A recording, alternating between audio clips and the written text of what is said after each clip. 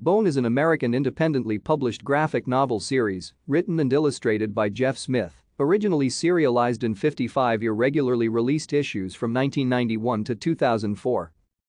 Smith's black and white drawings, inspired by animated cartoons and comic strips, are singularly characterized by a mixture of both light-hearted comedy and dark fantasy thriller. The author, Jeff Smith, describes the comics as a fish-out-of-water story.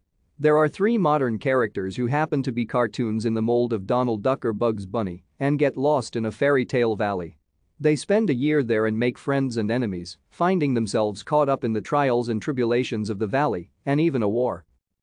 The series was published bi-monthly with some delays from June 1991 to June 2004.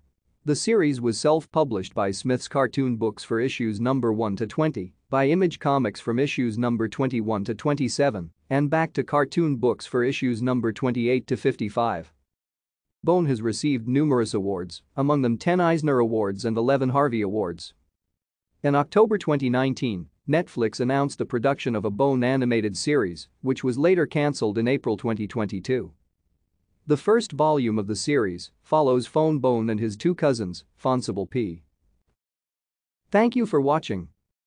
Like and subscribe if you would like to view more of our videos. Have a nice day.